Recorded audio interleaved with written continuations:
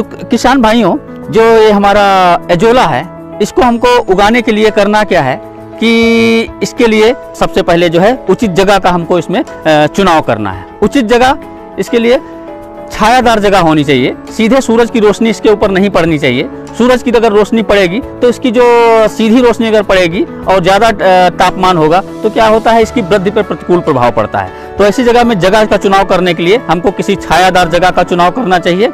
और उसके बाद में जब छायादार जगह, जहाँ जगह है, उसका चुनाव जब कर लेते हैं तो उसमें हम एक गड्ढा बनाते हैं। गड्ढा बनाने के लिए क्या है कि करीब डेढ़ मीटर चौड़ाई, गड्ढे की चौड़ाई जो है, वो डेढ़ मीटर करीब होनी चाहिए। डेढ़ मीटर इसलिए क्योंकि हमको इसमें काम करने में सुविधा रहती है। और जो गड्ढे की गहराई है, वो किसी भी हालत में 30 सेंटीमीटर से ज़्यादा नहीं होनी चाहिए।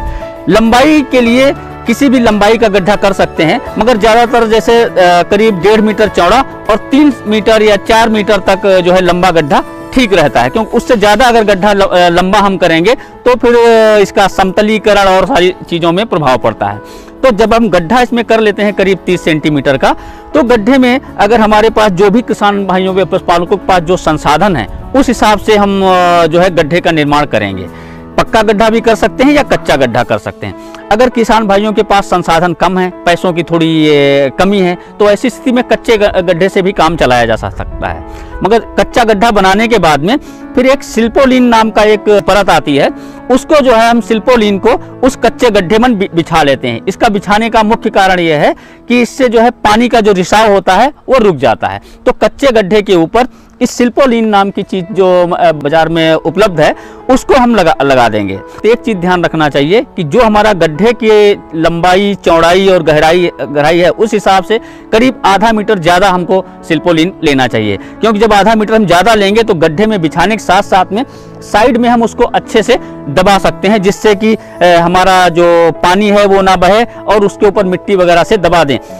इस तरह से हम एक कच्चा गड्ढा तैयार कर सकते हैं। और अगर आ, हमारे पास अच्छी अगर पैसे की किसानों के पास में पशुपालों के पास है तो उसमें पक्का गड्ढा भी टैंक एक टैंक तैयार कर लेंगे।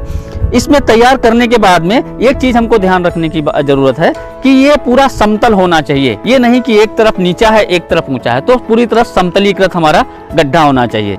इस गड्ढे को तैयार करने के बाद में फिर इसमें हम करीब तीन किलो मिट्टी, भुरभुरी मिट्टी खेत की, वो हम बारीक पीस लेते हैं और पूरे टैंक में प्रति वर्ग प्रति वर्ग मीटर के हिसाब से फैला देते हैं। मतलब एक वर्ग मीटर के लिए तीन किलो मिट्टी खेत की बारीक पिसी हुई, पूरे उसमें हम एक वर्ग मीटर में फैला देते हैं। इसी तरह जितना भी हमारा गड्ढे का साइज़ बड़ा होगा, उसी हिसाब से मिट्टी की मात्रा भी बढ़ती चली जाएगी।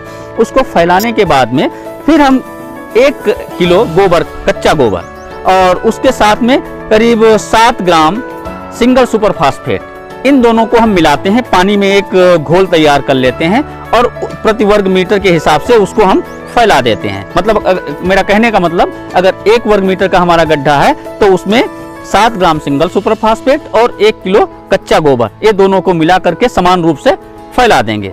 इसको फैलाने के बाद में फिर इस टैंक को हम भर लेते हैं।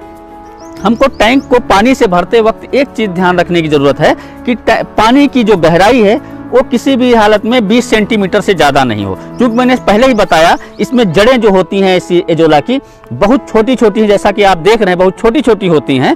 तो वो क्या होता है कि अगर हम ज़्यादा गहरा पानी भर देंगे तो उसमें आपका जो नीचे पोषक तत्व हैं, वो इसको अच्छी तरीके से नहीं मिल पाएँगे। तो इसलिए पानी की गहराई ज़्यादा से ज़्यादा 20 सेंटीमीटर रखनी चाहिए।